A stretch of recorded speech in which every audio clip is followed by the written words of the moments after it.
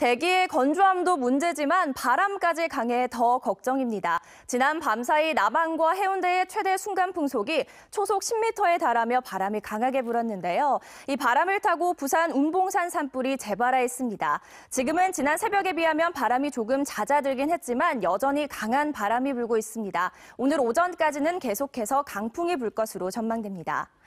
현재 전국에 건조특보가 내려졌다고 봐도 무방하겠습니다. 어제 부산은 건조주의보가 건조경보로 한 단계 올라섰습니다. 비가 오기 전까지는 대기가 계속 건조하겠습니다. 토요일에 전국 곳곳에 비가 내리기 시작해 부산은 일요일 아침부터 비가 오겠는데요. 예상되는 비양은 10에서 20mm 정도로 이 비가 메말라가는 대기를 적셔주겠습니다. 어제 오후 몽골과 중국에서 발현한 황사가 오늘 전국에 영향을 주겠습니다. 부산의 미세먼지 농도 보통 단계를 보이고 있지만 차차 나쁨 단계로 올라서겠습니다. 날씨였습니다.